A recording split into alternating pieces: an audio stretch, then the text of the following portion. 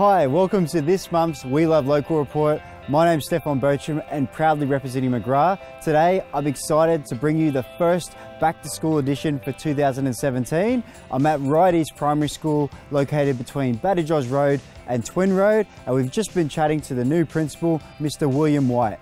By selling houses in the local area, I always hear some great things about the school. I thought I'd come down and hear it for myself, direct from the principal. He's just told me they're excited that they've just enrolled over 500 kids for 2017 and they got some real special initiatives for the year ahead. One of the initiatives that I thought was really interesting was their Ryde East Music Festival, which involves up to 20 other local schools in the area.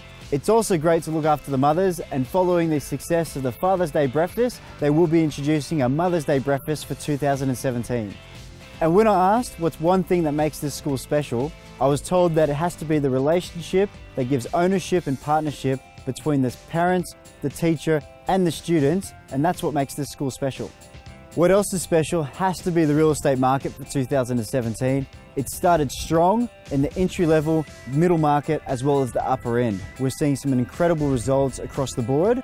To mention a few, our first auction for 2017 was 3 40 Cox's Road, North Ryde. This property was a late 1980s villa. It was updated, although had plenty of scope for future renovation, and it sold for a massive 1,185,000. There was over 150 groups to the property, and it's just a strong sign for the times ahead. This Saturday is definitely going to be exciting. We've got three auctions booked. Our first auction is scheduled for 11.15 at 467 Kissing Point Road.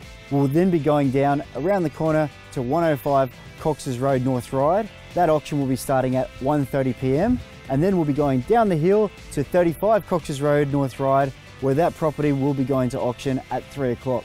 If you'd like any more information on any of these properties or anything else I can help with, feel free to give me a call anytime. I hope to see you on Saturday.